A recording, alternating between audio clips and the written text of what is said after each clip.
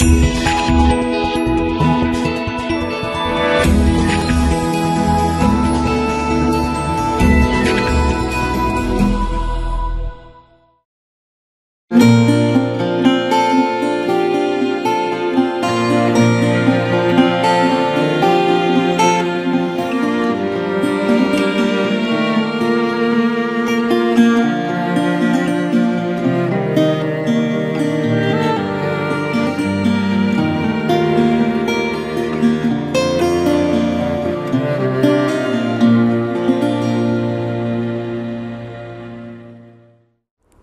皆さんこんにちは。堺シャローム福音教会の小山英二です。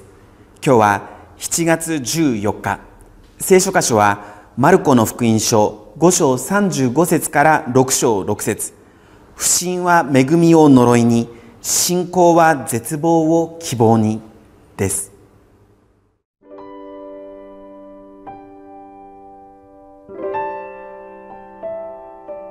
マルコの福音書5章35節から6章6節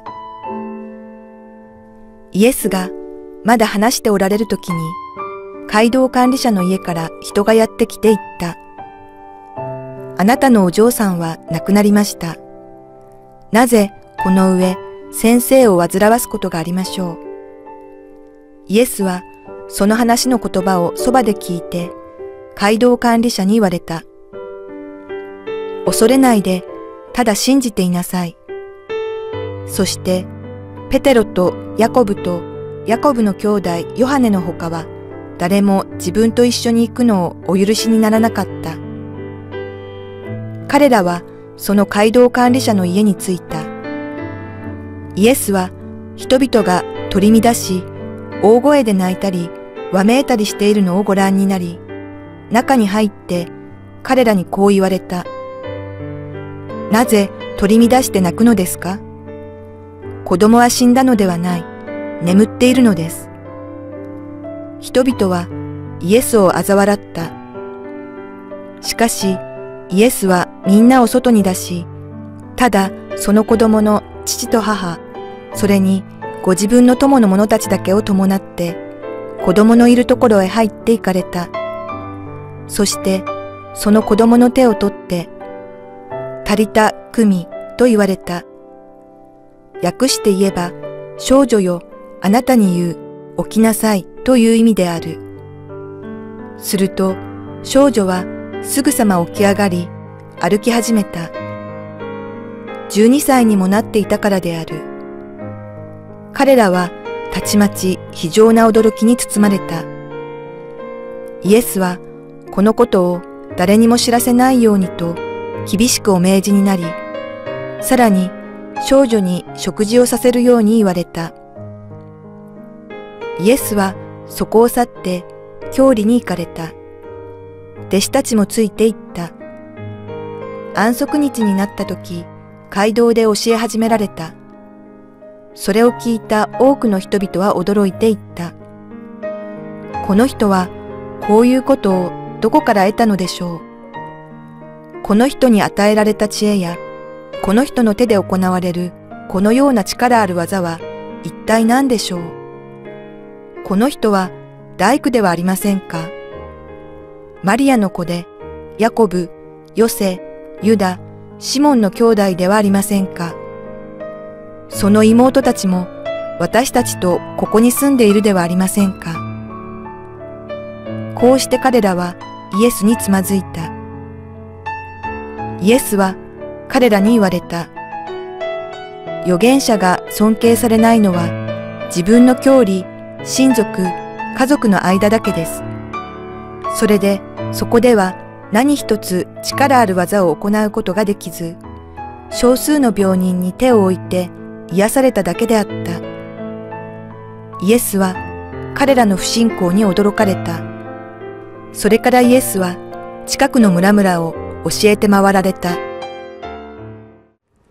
昨日の箇所で街道管理者のヤイロがイエス様の足元にひれ伏して娘の癒しのために来てくれるように頼みます。しかしその道の途中で一人の女性の癒しがなされました。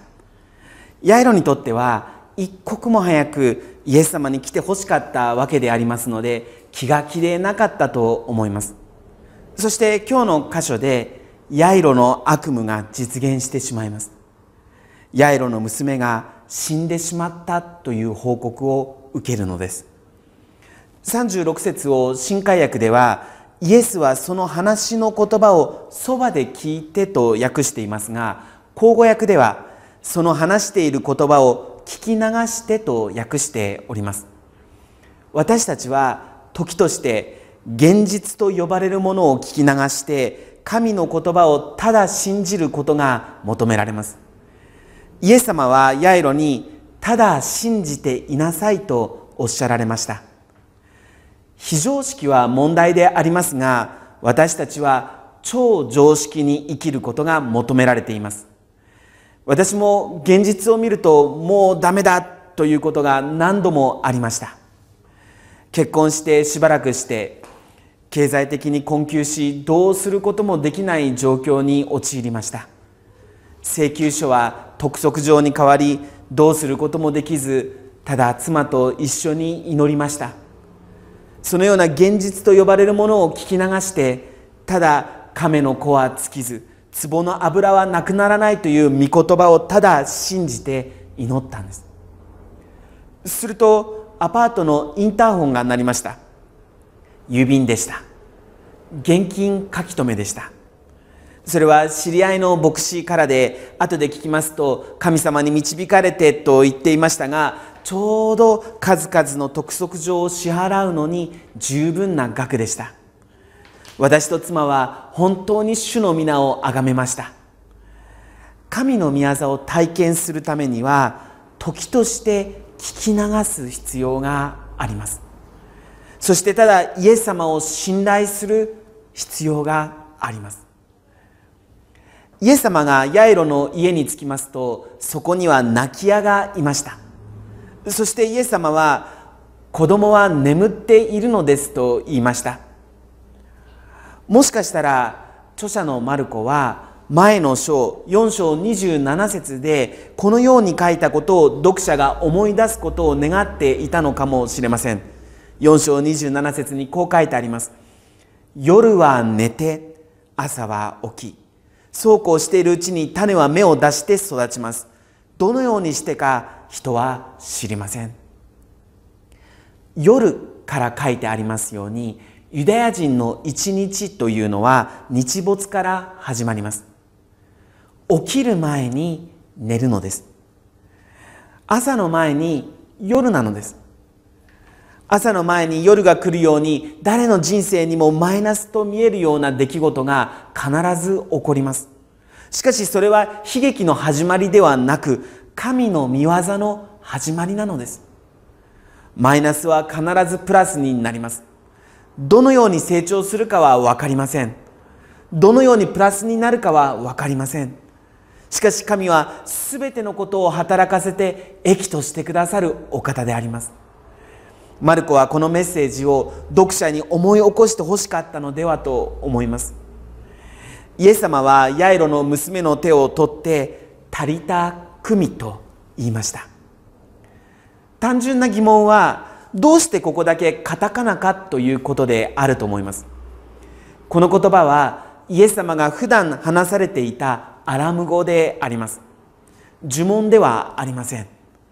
一般的に子供を起こす時に使う言葉であります多分この時の出来事イエス様が発された言葉がペテロたちにとってとても衝撃的だったんだと思いますペテロたちがこの話をする時わざとこのイエス様の言葉はアラム語で話したんだと思います。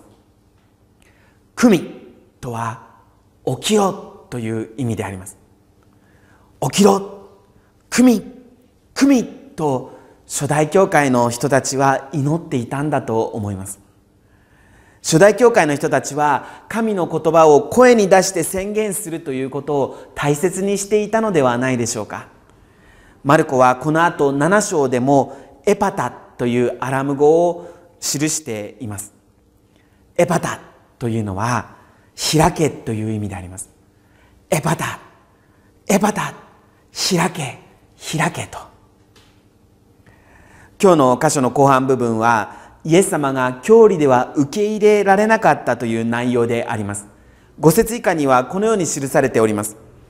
それでそこでは何一つ力ある技を行うことができず少数の病人に手を置いて癒されただけであった。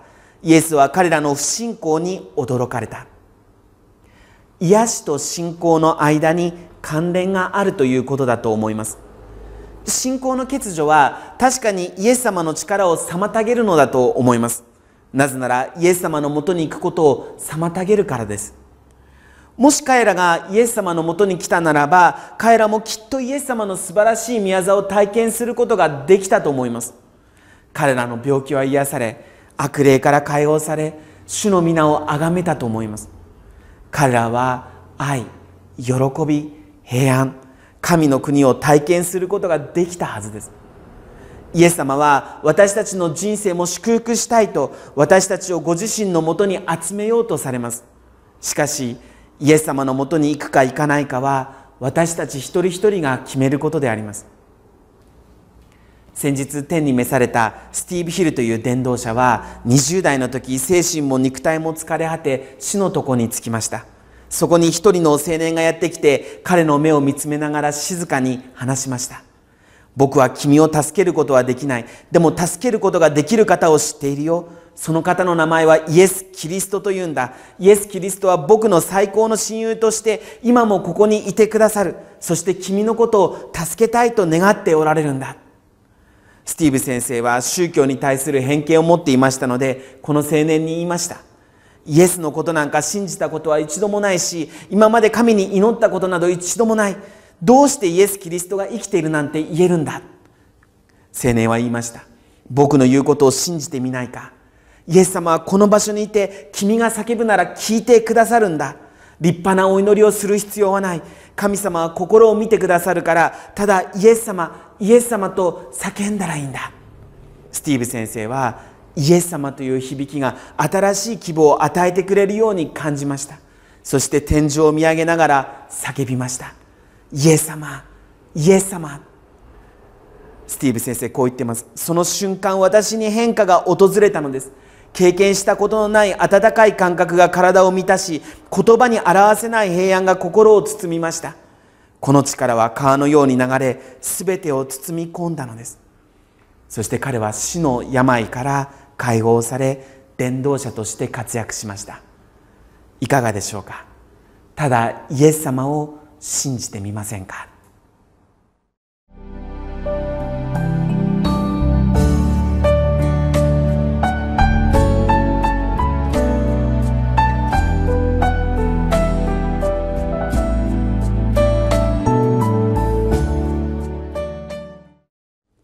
イエス様の兄弟たちはイエス様を信じていませんでした。しかし彼らはみんな初代教会において中心的な役割を担っていくようになります。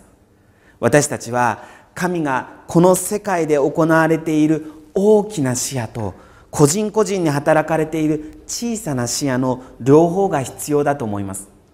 イエス様の兄弟のヤコブも最初は福音に反対していましたが神の恵みによって信仰の人祈りの人となりました。目に見える現実に縛られずに信仰の目を上げていこうではないでしょうか。祈ります。愛する天のお父様あなたの皆を賛美します。目の前の現状に縛られるのではなくただイエス様あなたを信じて前進することができますように。そしてあなたの偉大な御業を体験することができますようにイエス様の皆によってお祈りします。アーメン